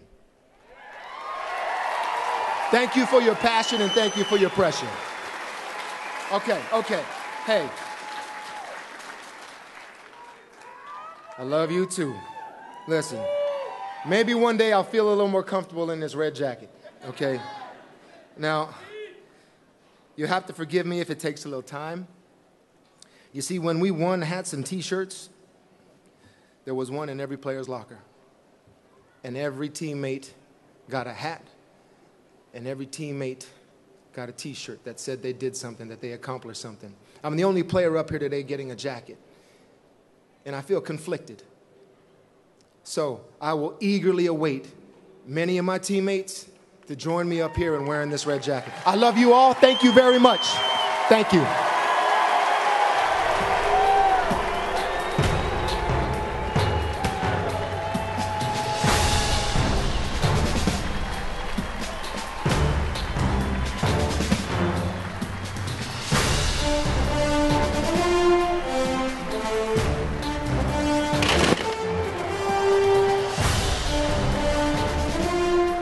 Tedy Bruschi.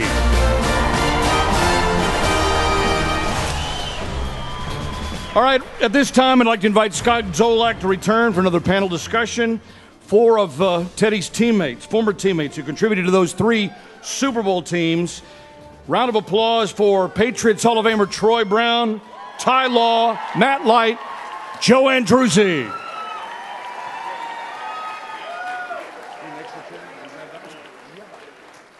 And while they're settling into their chairs, one former teammate who wanted to be here but had work conflict at NFL Network wanted to send a message to Tedy.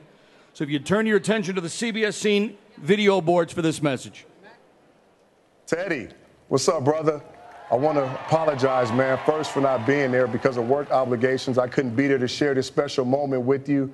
Second, I want to congratulate you on your induction of the Patriots Hall of Fame. It was a pleasure to go to work with you each and every day, week in and week out, going to battle, sharing some special times. You're a great leader. You're a true professional, a great example for a lot of players across this league. You was a great friend, a great brother, and a great man on and off the field. The times we spent was special. Everything, all the success that we had in New England was because we had guys like you on that team. Again, man, I just want to say I congratulate you. You deserve it. And uh, I wish I could be there to share this special moment. I love you, brother. Congrats.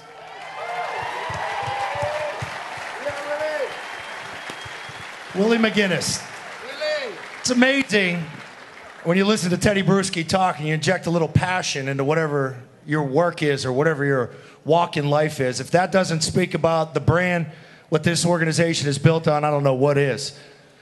All right, Tedy, 13 years. I know there's a lot of big moments. Your most memorable moment as a Patriot. I know we could be here for hours, as you were already here for like it's 45 similar to minutes. Gills. It's the first. You always remember the first. I mean, and it wasn't it special just because it was the special because it was the first for the franchise. Because before we won that championship, I don't know if people believed we could. They didn't. You know, New England had never done it before. So to break through that wall and say, yes, we can. Yes, we can. And we'll not only do it once, we'll do it twice, and we'll do it again. But that first one has to be done. And that's the first one is, is the first one is the most difficult to get. I think we all know that. But it was that first one that really started everything is something that whole season I'll, I'll, I'll never forget. All right, good stuff. I'm going to go to Troy Brown here. Um, Troy, where were you? All right, Patriot Hall of Famer Troy Brown. Give it up for Troy. See, no shocker. I think Troy picked Jay Z last year to get introduced. Tedy, of course, goes with the old school football music, pulled that out of the archives. Troy, where were you when you heard Tedy Bruschi had a stroke? And talk about that game in 2005 when he came back. Uh, I was I was back in West Virginia, and I don't know. I think I was at the time like 32, 33 years old, and I'm hearing all this come through, you know, on the news that Tedy had a stroke, and, and probably talking to Stacy and guys like that, and getting the information and what went on, and you know, just an unbelievable thing. Like we just won a Super Bowl. Tedy just went to the Pro Bowl. It's not possible that Tedy Bruschi at, at 30, 31, whatever he was, had a stroke. Uh, how, how is that even possible? So it was pretty unbelievable for me to even, you know, picture Tedy Bruschi as big and strong and as tough as he is, having a stroke at that age. And I remember myself calling, getting on the phone and calling my doctor, and I, dude, I need a full physical. I need it all. I need, you know, rectal exams, all that, prostate, everything. Give me everything. You know, and, and I really did. I got on the phone and I called him and I went in and he said, You're really too young for all this. But, like, yeah, but you heard the news about, news about Tedy Bruschi having a stroke. You know, he's younger than me. And he kind of laughed about it and he performed all that stuff on me. And it was, you know, quite uncomfortable stuff that he performed on me. But I got it all done because I knew how big and tough this guy was.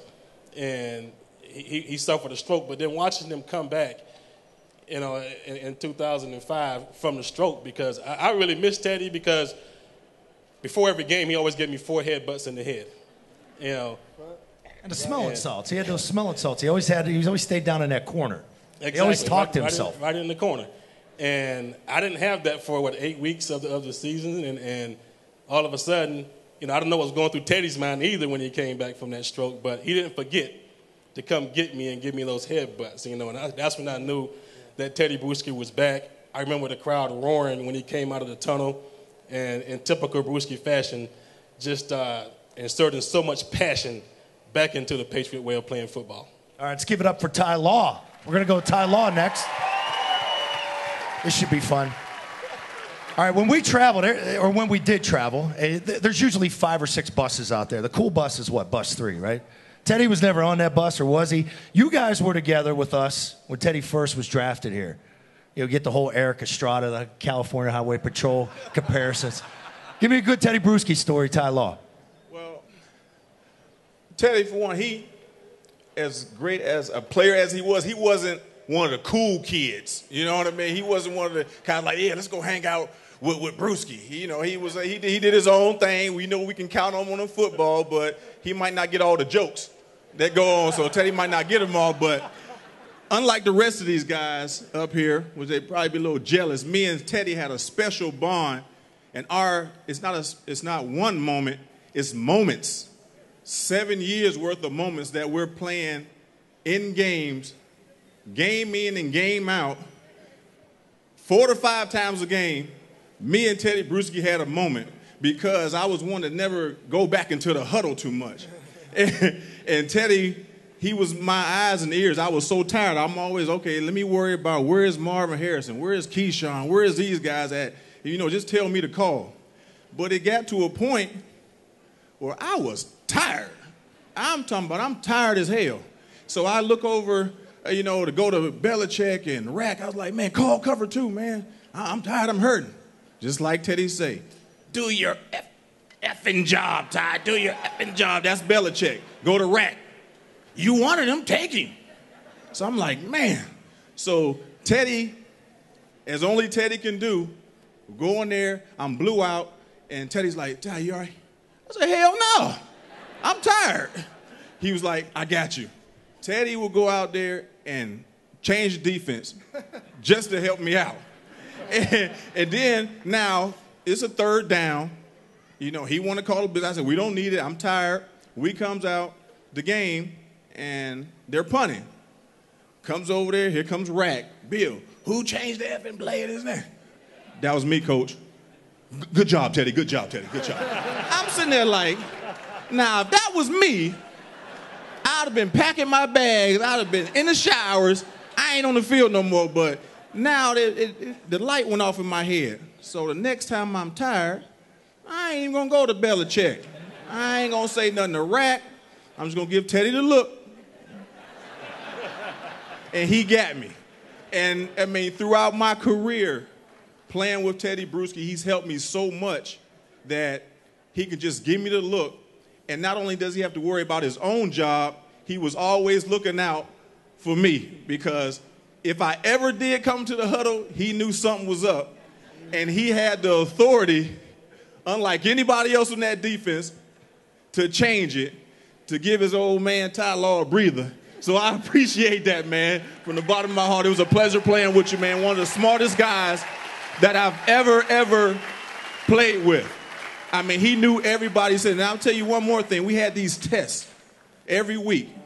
And for me, I just put in what I had to do. I wasn't worried about that corner, that safety, that linebacker. You know why I wasn't worried about it? Because I didn't know anyway. hey, who I got, coach? I play that cat coverage. That's what I'm used to. You, know, I got that cat. Okay, that's all. That's all I need to know. But uh, if it, Bruschi, now you put his text test next to anybody's, and he gonna put us all to shame because he got everybody fielding. He got everybody where they supposed to hook, where they supposed to drop, where they supposed to go up on the line. I'm like, how do you have all the time to figure out what everybody else is doing? Because my philosophy, if I'm over here, I know where my immediate help is at. I don't need to know what the defensive end on the right side and the linebacker and the tackle is doing because that ain't helping me at all. So Tedy Bruschi probably knew just as much or more than the coaches that actually was, was teaching us. And that goes to show you not only was he a great football player, but he was also a great student of the game and one of the best that I've been around. And he's helped my career tremendously because he was able to do that for me. And he collected a check every week like the rest of us. But Mr. Kraft, he should have got two because he was also a oh. coach out there. All right, Matt Light requested to go last. So I'm going to go to Joe Andruzzi. The cool thing about this question multiple Super Bowls between all of you. Pick out your favorite Bruschi Super Bowl moment. Why? When was it? Which one? Well, let me quickly start. Coming here in 2000, you know, Ty talks about that look. Bruschi, you know, ends with a vowel, and Druzy ends with another vowel. So we kind of had that connection, me being on the offensive side, Tedy being on the defensive side. We give a little wink certain times before the game where we don't want to smack each other up.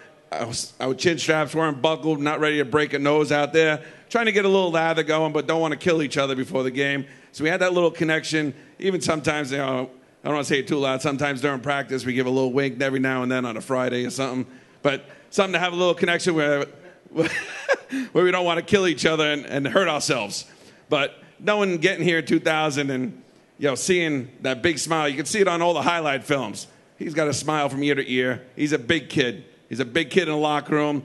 You know, jokes, this and that. I'm sure Heidi will probably agree with me, Tedy. You're her fourth son, right? uh, but how he perceived himself in that locker room on everything that you saw the videos, you saw the video of uh, how he ended every practice. He was that quiet leader, you know, until we won the game, of course. But that leader that was running behind the offense, doing uh, gases over and back with Ty, Willie, and a whole bunch of guys back and forth, trying to get ready, trying to better themselves because they wanted to earn that free hat and T-shirt, as well as us, back and forth. But getting there and being able to push ourselves to follow his leadership on everything he did, whether it was in the locker room, the weight room, on the field. Get there in 2001. You know, once again, following Gil, you know, favorite one for all of us, probably a lot of us in this room here, and being able to go out there, watch Adam kick that ball up there, and then turn around. I think there's a picture of it somewhere. One of the fondest moments is Bruschi hugging that trophy. I think there's still lip marks and you know, he's kissing it, hugging it, caressing it, and he wouldn't give it to anybody. He was running around. You guys remember, he's running around on the field, and he wouldn't give it to anybody. He's holding on to it, and it, I think he walked off the field with it. So, not sure how it got back here, but uh, somebody got it back. But uh, some of the greatest moments, we've had so many to talk about, uh, you know, from family get-togethers, holiday to get, uh, get-togethers. You know, a lot of great moments with Tedy. Truly an honor to be up here on the stage you know, telling you stories about him. But congratulations, Tedy, and to Gil. Good stuff, Joe. Tedy, You're not talking yet. You're going to wrap it up. We got to go to Matt Light. All right, what do you got on Mr. Bruschi? This should be pretty good. You know, uh, uh, golly, so many ways to go right now. I mean, I have longed for this moment. What says family more than what you've seen up here today? Tell me that. What says family more than what we've seen today? I mean, I haven't gotten this excited in years, okay? I mean, listening to the speech, Tedy, I love you. I, I don't know how I could have possibly forgotten how good it was, but every moment out there before games, every time we take that field, any pivotal moment, it had his signature on it. And what says family more than to hear a guy get up and tell you how it all happened and, and pay, you know, respects to all the people before him? What says family more than that? What says family more than everything that we've got here right now? I mean, it's an honor to be here, man. I think of you, and so many of these memories come back. And I'll tell you another thing. As a rookie, I can remember coming in, and the baddest dudes on the block happened to be in that linebacker room. All right? I'm talking about Willie Mack. If you got in his shower, watch out, things weren't good. All right? And by the way, there wasn't a name tag on it. It was, hey, it's a linebacker shower, and but guess what? That's that's his. You don't go near that, Rook. And if I made a mistake, I promise you, Tedy would let everybody know, hey, Rook, what are you doing? Are you serious? Get out of here. Get out of here. Get out of here. You're gone. Get out of here. I mean, I can tell you there was a lot of pressure, but just going back to the family thing, there's always an uncle or an aunt or somebody that keeps you in place, right? And we always had that. And we always had it from that linebacker crew, and we always had it from Tedy day in and day out. And the passion that you guys saw in his speech is what we lived each and every day as a unit, as a group. And we might not always liked each other, offense and defensive guys, but I tell you what, family, it's all about respect, and I respect the heck out of what he did and what he stood for. But I'm gonna tell you one thing though, all right? I'm gonna tell you one thing. He left. And all the lessons that I gleaned from him over the years and the rest of the guys that were, you know, just pivotal in making this such a championship organization, there was one thing that he left without giving anybody clue as to how you could do it. And you saw a little bit of it there. And I was the guy that I can remember somebody say, all right, who's going to break it down, man? I mean, Tedy's not here anymore. Who's going to break it down? Oh, Light, break it down. Light, you got a big mouth. You always got something to say. First of all, I couldn't stumble through any of that stuff you did. You came up with things that rhymed at the drop of a dime. I can't do it to this day. I never will, but it kind of worked right there, didn't it? All I'm saying is, I got up there and I don't even know what came out of my mouth, but when I gave the oh, no, no, sir, oh, you know what? Forget it, man. We're going back home. So before I leave, baby, one last time, at least with these guys and the rest of our family, we got to break it down. You got to show us how it's done. You got to show us how it's done. Come on, Brew. You want to break it down real quick? All right. Yeah, heck yeah. All right, all right, all right. Everybody put it in? No, we got to get it up high. We got it up high. All right, we hold on, hold on a second, hold on a second, hold on a second. One, one more thing, one thing, one second, one second. Because that's going to be the last thing. You see, that's the thing I'm going to break down. So, Matt talked about family, and there's one thing that I wanted to finish with in this setting with my family here, my football family here, and I know I don't have to do this, and I know I don't, and that's to thank my wife Heidi. All right, because Hyde, there are certain things that you just know. There are certain things that you know and I know. Home team is what we always talk about. TJ, Rex, Dante, all of us in our home team. Because once we get home and this jacket comes off, it's just dad. And I still got to be a husband and a father. And I want to thank you for helping me be such a good husband and father. You are the best wife a man could ever ask for. And I love you very much, baby. And that's what I really want to finish with. So, everybody, bring it up. Come on. We're Patriots. We all are Patriots. So I'm going to ask you all the word is home team. How we feel about being a part of the home team? Oh, yeah! Tedy Bruschi. Back over to John Rooke. Guys, stay right where you are. We have the players stay right here for a moment because we have, before we conclude, one more person would like we'd like to invite up here to say a few words. At his retirement, this man called Tedy the perfect player. So please welcome Patriots head coach Bill Belichick.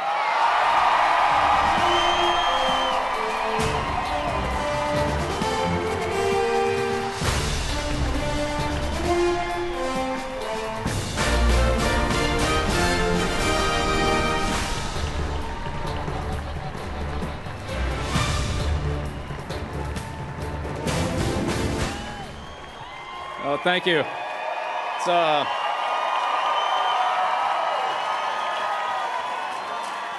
it's a great, great honor to be here at. Uh, sit down, fellas. Jeez, come on. great honor to be here at uh, Tedy's induction and Gil's. Uh, Gil made all, all those great calls for so many years, and uh, you know it's a great honor to be up here. It was, it's a real privilege to have Coach Tedy Bruschi, and uh, you know I've said many times that uh, the things that stand out about Tedy are his, and he's referred to him, his passion for football and his instinctiveness. And um, it's funny, you know, when we drafted him in 1996, uh, you know, Bill, after we made the pick, walked in and said, you know, we, we took Bruschi to defensive lineman from Arizona, but we're going to make him a linebacker.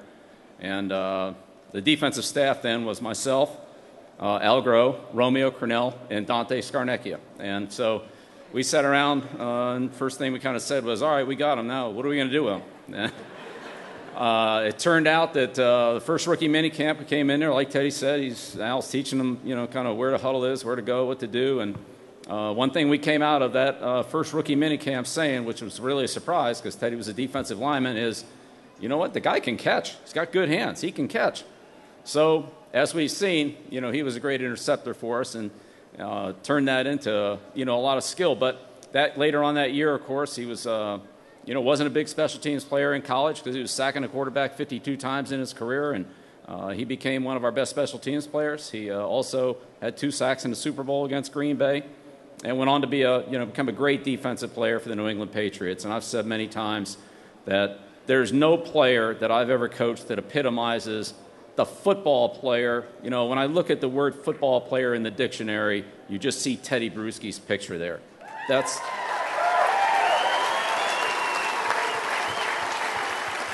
That, that's the best way I can put it. And uh, you know, some of the comments that Matt Light just made, just they're so true. He had so much passion. Didn't matter whether we were doing sprints, lifting weights, uh, preseason game, championship game. You know, he had that same energy, that same team spirit. Uh, he brought it out there every single day, and, and it was awesome. And you know, I think about a lot of the, the great calls that, that Gil has made through the years on the Patriots, and we think about a lot of the great plays that Bruschi was involved in.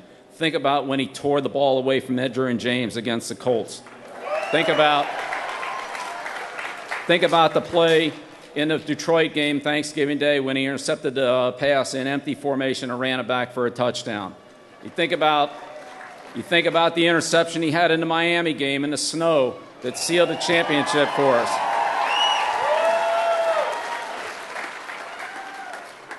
But the play that I'll never forget, the play that led to that 2001 championship, the play that I'll never forget in a snow game was second and three.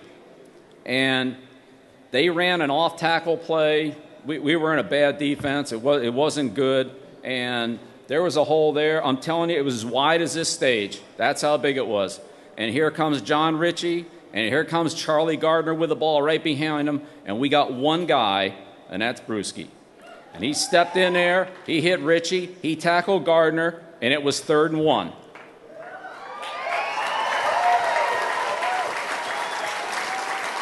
And I'm telling you, without that play, there wouldn't have been a lot of those other plays that happened that year.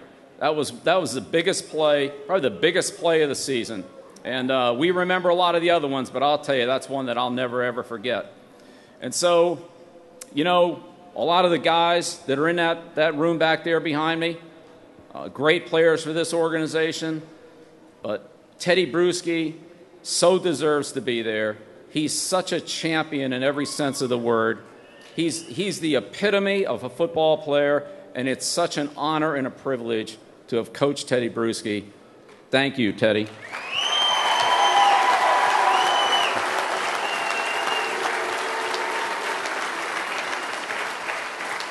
And I'll just say one last thing that, you know, we throw the word around a lot. You know, there's great players, there's great players, and there's great players. And Tedy Bruschi was a great, great football player because of his passion, his love, his team attitude toward the game are all second to none. Tedy, congratulations. Thank you.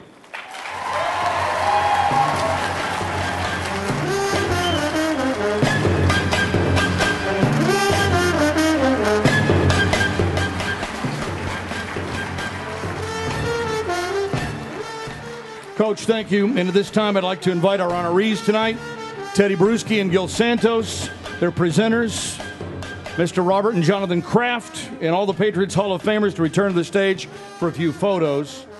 And also at this time, if we could ask our guests from the armed forces to return a few of our prized possessions and lead our Hall of Famers to their reception.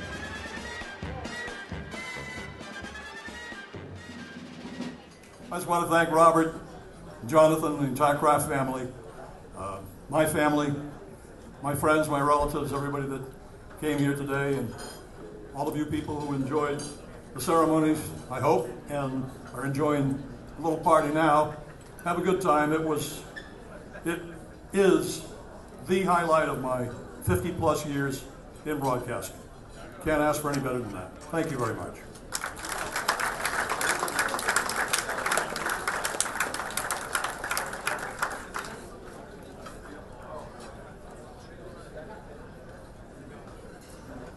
So for other inductee Tedy Bruschi, a story that isn't known is that after Tedy had his stroke, uh, I remember meeting with Heidi and Tedy, and I deep down really, I want to win more than anything, but I didn't want to win to a point uh, where someone we cared about deeply could get injured on our field, and we knowingly participated in it.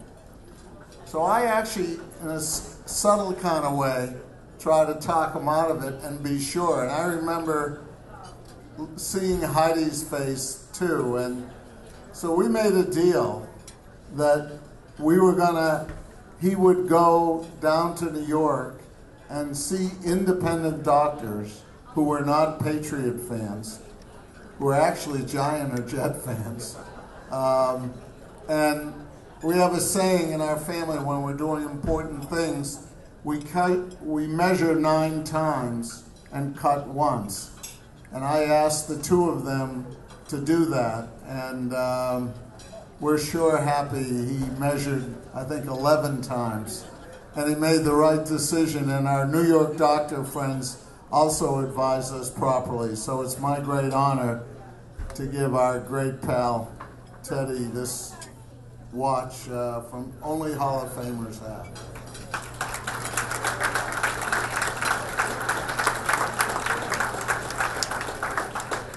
I don't know how many times I heard that. Measure nine times and cut once. Give me my helmet.